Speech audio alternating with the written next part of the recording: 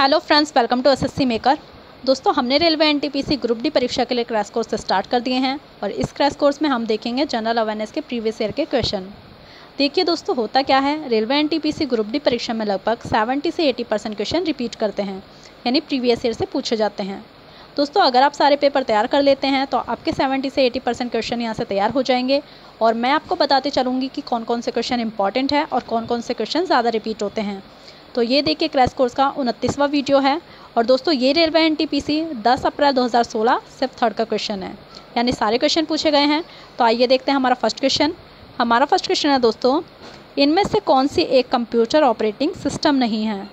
यहाँ पे दोस्तों पूछ रहा है, कौन सा नहीं है इनमें से कंप्यूटर ऑपरेटिंग सिस्टम तो वह क्या है? बेयर धातु। याद रखिएगा दोस्तों। नेक्स्ट क्वेश्चन पे चलते हैं। हमारा नेक्स्ट इंपॉर्टेंट क्वेश्चन है, एक परमाणु की परमाणु संख्या क्या होती है, जिसमें दस प्रोटॉन और ग्यारह न्यूट्रॉन होते हैं? तो दोस्तों, वह क्या होती है? दस। ठीक है? दोस्तों, किसी तत्व के परमाणु के नाभिक में उपस्थित प्रोटोनों की संख्या को कहते हैं परमाणु संख्या, यानी एटॉमिक नंबर और किसी परमाणु के नाभिक में उपस्थित प्रोटोनों और न्यूट्रॉनों की संख्याओं का योग उस परमाणु की द्रव्यमान संख्या, यानी कि मास नंबर कहलाती है। अगर बात करें प्रोटोन की तो इसकी खोज किसने की थी? ये भी क्वेश्चन पूछा जाता है तो आपको पता होना चाहिए। वह दोस्तों गोल्डस्टीन ने, ठीक है? अब बात करते हैं न्यूट्रॉन की। तो इसके खोजकर्ता कौन है? चैडविक और इसके बाद दोस्तों जो मोस्ट इंपॉर्टेंट है, वह है इलेक्ट्रॉन इलेक्ट्रॉन की खोज की थी जे जे थॉम्सन ने। याद रखिएगा दोस्तों नेक्स्ट क्वेश्चन पर चलते हैं। हमारा नेक्स्ट इंपॉर्टेंट क्वेश्चन है डीवीडी का पूरा नाम क्या है? तो दोस्तों वह है डिजिटल बहुमुखी डिस्क, ठीक है?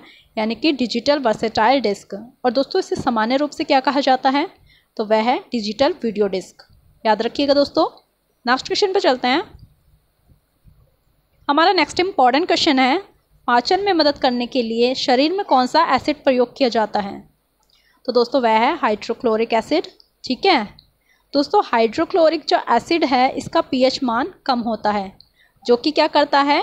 किणवकों के लिए उत्तम होता है। और कुछ समय, यानी कि आमतौर पर मनुष्य में एक या दो घंटे, कुत्तों में पाँच से छः घंटे और बिल्लियों में जो है, इससे कुछ जो कम अवधि होती है, उसके बाद भोजन के अवशेष क्या करते हैं? छोटी आंत और बड़ी आंत से गुजरते हैं और मल त्याग के दौरान बाहर निकाल दिए जाते हैं। याद रखिएगा दोस्तों नेक्स्ट क्वेश्चन पे चलते हैं। हमारा नेक्स्ट इंपॉर्टेंट क्वेश्चन है, कुडनकुलम परमाणु ऊर्जा प्लांट कहाँ स्थित है? तो दोस्तों, वह है तमिलनाडु में। याद रखिएगा। नेक्स्ट क्वेश्चन पे चलते हैं। हमारा नेक्स्ट इंपॉर्टेंट क्वेश्चन है, निम्नलिखित उपग्रह श्रृंखला में से किस से भारतीय प्रक्षेपण यान का उपयोग करके पहले भारतीय उपग्रह का शुभारंभ किया गया था? तो दोस्तों, वह है आर्यभट्ट, ठीक है? दोस्तों, भारत का पहला उपग्रह था आर्यभट्ट और ये 19 अप्रैल 1975 को सोवियत संघ द्वारा अंतरिक्ष में छोड़ा गया था। और इसका नाम जो है महान गणितज्ञ आर्यभट्ट के नाम पर रखा गया था। और इसके पाँच दिन बाद जो है काम करना बंद कर दिया गया था। याद रखिएगा दोस्तों, इसने किया था आर्यभट्ट ने। पाँच दिन के बाद जो है काम करना बंद कर दिया था। नेक्स्ट क्वेश्चन पे चलते हैं। हमारा नेक्स्ट इंपॉर्टेंट क्वेश्चन है, निम्नलिखित धातुओं में से कौन सा फ़ोटो फ़िल्मों में इस्तेमाल किया जाता है? तो दोस्तों, वह क्या है? रजत, ठीक है? नेक्स्ट क्वेश्चन पे चलते हैं। हमारा नेक्स्ट क्वेश्चन है दोस्तों, निम्नलिखित में से किस जोड़े के पास अपर बर्थ है? तो दोस्तों, वह है मीना और हरी, ठीक है? नेक्स्ट क्वेश्चन पे चलते हैं। हमारा नेक्स्ट इंपॉर्टेंट क्वेश्चन है 2014 से 15 की सर्वश्रेष्ठ महिला क्रिकेट के लिए एम ए चिंदबरम ट्रॉफी से किसको सम्मानित किया गया था? तो दोस्तों, उनका नाम क्या है? मिताली राज, ठीक है?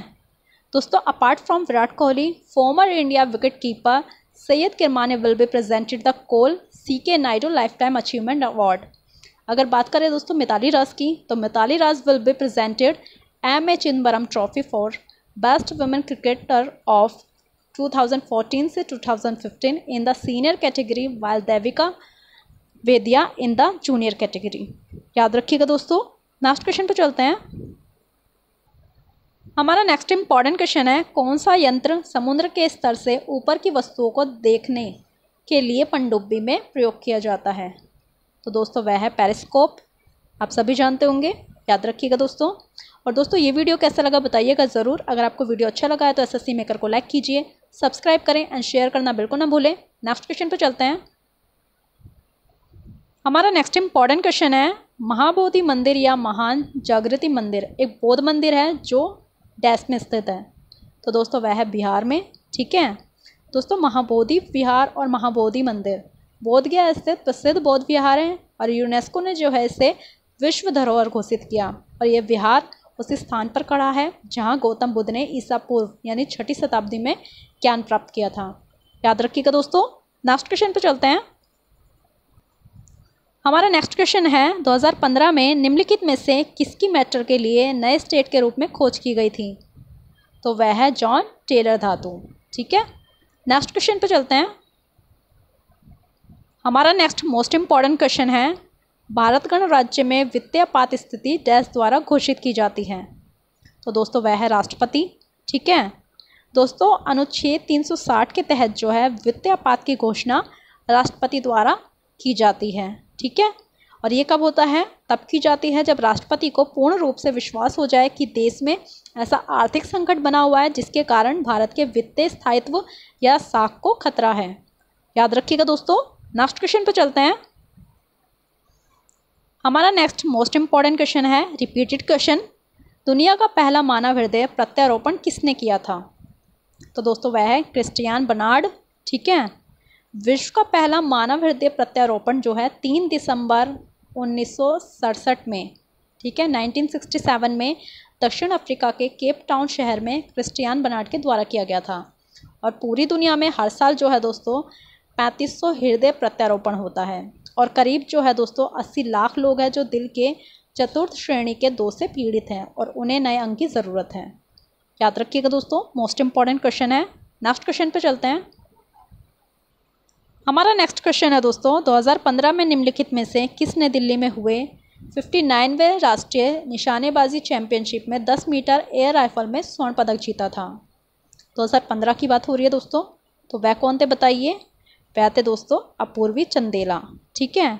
दोस्तों, रियो ओलंपिक के लिए जो है क्वालिफाई कर चुकी अपूर्वी ने बेहतरीन प्रदर्शन करते हुए ये पदक जीता और राजस्थान की अपूर्वी ने कुल दोस्तों सात पॉइंट आठ अंकों के साथ स्वर्ण पदक जीता। याद रखिएगा दोस्तों नेक्स्ट क्वेश्चन पे चलते हैं। हमारा नेक्स्ट इंपॉर्टेंट क्वेश्चन है, निम्नलिखित में से किस आंदोलन ने गोवा में पुर्तगाली राज को समाप्त करने में महत्वपूर्ण भूमिका निभाई थी? तो दोस्तों, वह है गोवा मुक्ति, ठीक है? दोस्तों, महाराष्ट्र के सांगली में 1929 में, ठीक है? 1929 में जन्मे थे मोहन रनाडे। ये कौन थे? वकील थे और वे स्वतंत्रता सेनानी और राष्ट्रवादी विचारक भी थे। दोस्तों, डॉक्टर, डी सावरकर और वी डी सावरकर, इन सबसे प्रभावित थे और गोवा को आज़ादी दिलाने के लिए वे आज़ाद तक दल में शामिल हो गए। और दोस्तों, रनाडे जो हैं 1950 की शुरुआत में एक मराठी शिक्षक के रूप में गोवा पहुँच गए और महापुर्तगाली औपनिवेशिक शासन के खिलाफ गुप्त आंदोलनात्मक गतिविधियों में शामिल हो गए। याद रखिएगा दोस्तों, नेक्स्ट क्वेश्चन पे चलते हैं। हमारा नेक्स्ट इंपॉर्टेंट क्वेश्चन है, भारत छोड़ो आंदोलन महात्मा गांधी द्वारा कब शुरू किया गया था? तो दोस्तों, आप सभी जानते होंगे, वह है आठ अगस्त उन्नीस सौ बयालीस को ओके नेक्स्ट क्वेश्चन पे चलते हैं। हमारा नेक्स्ट इंपॉर्टेंट क्वेश्चन है, लाल किला लगभग 200 वर्षों के लिए भारत के मुगल सम्राट का निवास स्थान था। यह किसके द्वारा बनाया गया था? तो दोस्तों, वह कौन थे? शाहजहाँ। आप सभी जानते होंगे दोस्तों दोस्तों, किले का जो निर्माण है, पाँचवें मुगल बादशाह शाहजहाँ द्वारा कब करवाया गया था? सिक्सटीन थर्टी नाइन में। और इसका निर्माण दोस्तों, लाल बलुआ पत्थर, यानी कि रेड सैंडस्टोन से होने के कारण इसे लाल किला का नाम दिया गया। और महल में दोस्तों, मंडप एक लाइन में बने हुए हैं, जिसके सामने एक छोटी नहर और जलधारा बहती हैं, जिसे जो है, नहर बिशत के रूप में जाना जाता है। और दोस्तों, किला जो है, इसमें क्या है? कई संग्रहालय स्थित है और सबसे दाई और मशहूर मोती मस्जिद स्थित है। याद रखिएगा दोस्तों। नेक्स्ट क्वेश्चन पे चलते हैं। हमारा नेक्स्ट इंपॉर्टेंट क्वेश्चन है, वृद्धेश्वर मंदिर शिव को समर्पित एक हिंदू मंदिर है, जो तमिलनाडु के भारतीय राज्य में तंजापुर में स्थित है। यह किसके सिंहासन की शोभा बढ़ाने के लिए बनवाया गया था? तो दोस्तों, वह कौन है? चोला साम्राज्य, ठीक है? दोस्तों, इसका जो निर्माण है, एक हज़ार तीन से लेकर एक हज़ार दस ईस्वी के बीच जो है, चोल शासक प्रथम राजराज चोल ने करवाया था और उनके नाम पर इसे जो है राज राजेश्वर मंदिर का नाम भी दिया गया। ये जो है दोस्तों, अपने समय के विश्व के विशालतम संरचनाओं में गिना जाता है। याद रखिएगा दोस्तों नेक्स्ट क्वेश्चन पे चलते हैं। हमारा नेक्स्ट मोस्ट इंपॉर्टेंट क्वेश्चन है, निम्नलिखित में से कौन सा भारत का सबसे बड़ा रेगिस्तान है? तो दोस्तों, आप सभी जानते होंगे, वह है थार रेगिस्तान, ठीक है? दोस्तों, थार जो है भारत का सबसे बड़ा रेगिस्तान है। और इसके रूप में जाना जाता है किसके? थार रेगिस्तान के। दोस्तों, भारत जो है, भारतीय उपमहाद्वीप के उत्तर पश्चिमी भाग का एक बड़ा शुष्क क्षेत्र है थार रेगिस्तान और ये दोस्तों, सतहत्तर वर्ग मील के क्या है? क्षेत्र को कवर करता है। और भारत और पाकिस्तान के बीच क्या है? एक जो प्राकृतिक सीमा है, वह बनाता है। कौन? थार रेगिस्तान याद रखिएगा दोस्तों। और दोस्तों, ये वीडियो शेयर करना बिल्कुल ना भूलें। आप सभी जानते हैं sharing is the best way of learning तो शेयर ज़रूर करें। नेक्स्ट क्वेश्चन पे चलते हैं। हमारा नेक्स्ट मोस्ट इंपॉर्टेंट क्वेश्चन है दोस्तों। ध्यान से देखिएगा। एडीएच का पूरा नाम क्या है? फुल फॉर्म पूछ रहा है दोस्तों, क्या होती है? तो वह है एंटी डायूरेटिक हार्मोन ठीक है? दोस्तों, इसके अलावा और भी है। जैसे एडीएच अगर ऑप्शन में पूछे तो वहाँ पर दोस्तों ये भी हो सकता है अल्कोहल डिहाइड्रोजेनस उसके बाद एंटी यूरेटिक हार्मोन ठीक है?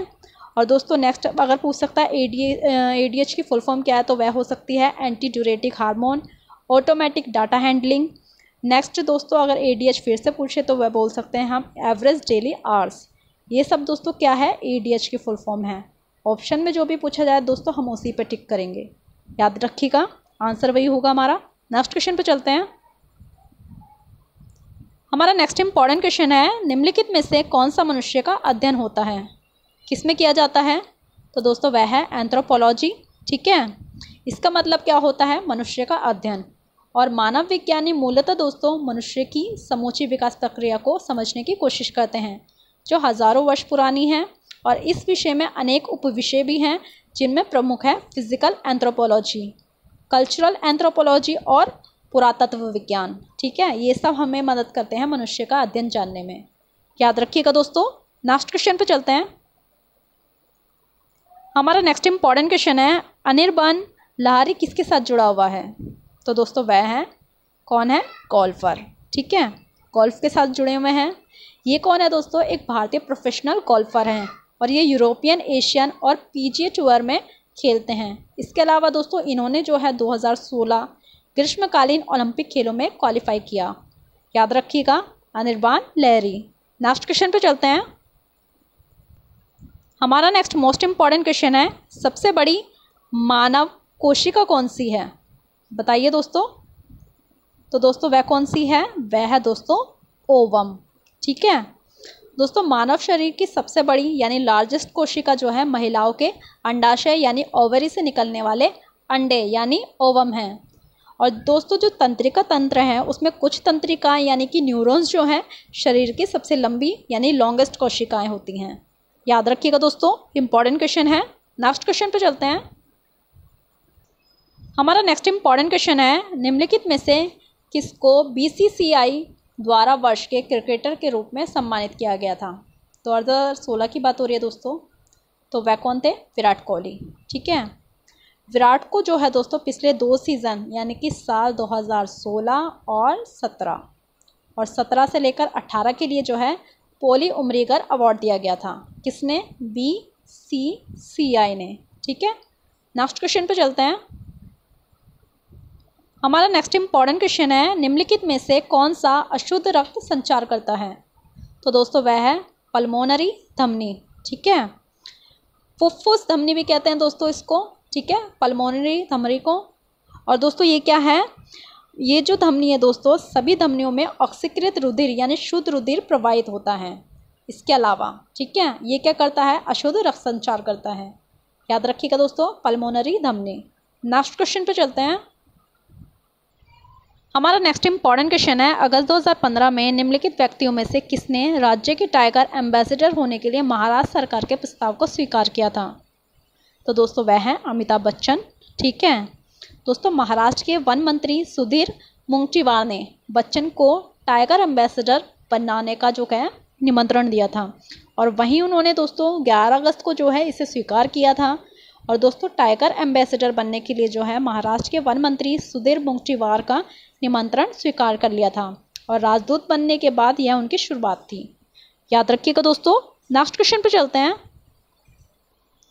हमारा नेक्स्ट क्वेश्चन है दोस्तों, कौन सा देश दान सहायता फाउंडेशन के विश्व प्रदान इंडेक्स 2015 में पहले स्थान पर रहा? तो दोस्तों, वह है म्यांमार। याद रखिएगा। नेक्स्ट क्वेश्चन पर चलते हैं। हमारा नेक्स्ट इंपॉर्टेंट क्वेश्चन है, निम्नलिखित में से कौन सा प्लूटो का एक फ्लाई बाई अध्ययन करने के लिए प्राथमिक मिशन के साथ शुरू किया गया था? तो दोस्तों, वह क्या है बताइए? वह दोस्तों, नए क्षितिज। ठीक है? दोस्तों, ये जो है नए क्षितिज। इंग्लिश में बोलते हैं न्यू हॉराइजन्स। अमेरिका अंतरिक्ष अनुसंधान संस्था यानी नासा का एक अंतरिक्ष शोधयान है, जो हमारे सौर मंडल के बाहरी यानी बोना ग्रह जो है, यम यानी कि प्लूटो, इसके अध्ययन के लिए छोड़ा गया था। और इस यान का जो प्रक्षेपण है 19 जनवरी 2006 को किया गया था, जो नौ वर्षों के बाद 14 जुलाई 2015 को प्लूटो के सबसे नज़दीक से होकर गुजरा था। ठीक है? याद रखिएगा मोस्ट इंपॉर्टेंट क्वेश्चन है। नेक्स्ट क्वेश्चन पे चलते हैं। हमारा नेक्स्ट मोस्ट इंपॉर्टेंट क्वेश्चन है दोस्तों। रिपीटेड क्वेश्चन है। निम्नलिखित में से किसने 2016 Malaysia master grand prix badminton खिताब जीता है? तो दोस्तों, उनका नाम है पीवी सिंधु। याद रखिएगा। और दोस्तों, ऐसे इंटरेस्टिंग वीडियोज़ और क्वेश्चन के लिए एसएससी मेकर को आप अपने दोस्तों के साथ लाइक कीजिए सब्सक्राइब करें एंड शेयर करना बिल्कुल ना भूलें। हर सोशल साइट्स पेज पे कीजिए, ताकि आपके साथ साथ दूसरों की भी हेल्प हो सके। तो दूसरों की भी हेल्प कीजिए दोस्तों। नेक्स्ट क्वेश्चन पे चलते हैं। हमारा नेक्स्ट मोस्ट इंपॉर्टेंट क्वेश्चन है आई एस आर ओ यानी इसरो का पूरा नाम क्या है? तो दोस्तों, वह क्या है? भारतीय अंतरिक्ष अनुसंधान संस्थान। ठीक है? शॉर्ट में बोलते हैं ISRO Indian space research organisation ये क्या है दोस्तों? भारत का राष्ट्रीय अंतरिक्ष संस्थान है। जिसका मुख्यालय कहाँ पर है? तो वह है बेंगलुरु में स्थित। और इस संस्थान में लगभग दोस्तों, सत्रह हज़ार कर्मचारी और वैज्ञानिक कार्यरत हैं। और संस्थान का मुख्य कार्य क्या है? भारत के लिए अंतरिक्ष संबंधी तकनीक उपलब्ध करवाना। याद रखिएगा दोस्तों नेक्स्ट क्वेश्चन पे चलते हैं।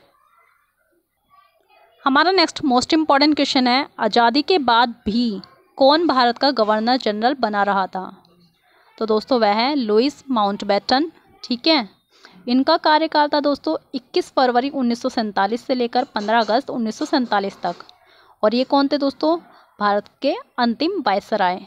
इसके अलावा दोस्तों, इन्होंने जो है तीन जून उन्नीस सौ सैंतालीस को भारत के विभाजन की घोषणा की थी और चार जुलाई उन्नीस सौ सैंतालीस को ब्रिटिश संसद में भारतीय स्वतंत्रता अधिनियम प्रस्तुत किया, जिसे जो है 18 जुलाई उन्नीस सौ सैंतालीस को पारित करके भारत की जो स्वतंत्रता थी उसकी घोषणा कर दी गई और भारतीय जो स्वतंत्रता अधिनियम है इसके द्वारा भारत को विभाजन करके भारत और पाकिस्तान इनके जो नाम थे दोस्तों भारत और पाकिस्तान नाम के क्या हुआ था? दो राज्यों में बांट दिया गया। और 15 अगस्त उन्नीस सौ सैंतालीस को क्या हुआ था? भारत स्वतंत्र हो गया। याद रखिएगा दोस्तों नेक्स्ट क्वेश्चन पे चलते हैं। हमारा लास्ट इंपॉर्टेंट क्वेश्चन है इंसुलिन की खोज के लिए किसको नोबेल पुरस्कार से सम्मानित किया गया था? तो दोस्तों, उनका नाम है फेड्रिक पेंटिक ठीक है? इंसुलिन की जो खोज है फेड्रिक ग्रांड पेंटिक ने की थी। और इस खोज में फेड्रिक का साथ दिया था चार्ल्स हार्बर्ट बेस्ट ने। इसके लिए जो है दोस्तों, फेड्रिक, इन्होंने जो प्रयोग किया था, एक कुत्ते पर किया था और मधुमेह के इलाज में ये खोज जो है कारगर सिद्ध हुई थी और इस महान खोज के लिए फेड्रिक को जो है नोबेल पुरस्कार भी मिला था। याद रखिएगा दोस्तों इंपॉर्टेंट क्वेश्चन है। तो दोस्तों, ये थे क्रैश कोर्स में जनरल अवेयरनेस के प्रीवियस ईयर के क्वेश्चन आई होप ये वीडियो आपको पसंद आया है। ये वीडियो कैसा लगा? कमेंट बॉक्स में ज़रूर बताइएगा। पसंद आया तो अपने स्टडी रिलेटेड ग्रुप में शेयर ज़रूर करें और एस एसएससी मेकर को लाइक सब्सक्राइब एंड शेयर करना बिल्कुल ना भूलें। आज के लिए बस इतना ही। थैंक यू सो मच दोस्तों।